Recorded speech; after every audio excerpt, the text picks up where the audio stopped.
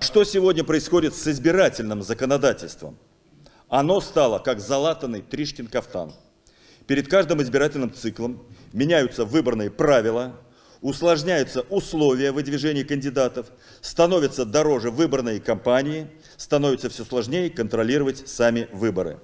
Трехдневное голосование, дистанционное голосование, электронные списки избирателей, муниципальный фильтр – все это отдаляет избирателей от контрольных функций, которые должны быть гарантией честных выборов. В течение каждых пяти лет в городе Москве четыре года являются выборными. То есть мы постоянно с вами находимся в выборном напряжении и на пике активности.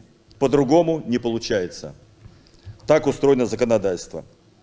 Несмотря на обозначенные выше сложности, мы будем участвовать в выборах мэра Москвы и приложим все силы для проведения тщательного контроля на всех этапах выборов.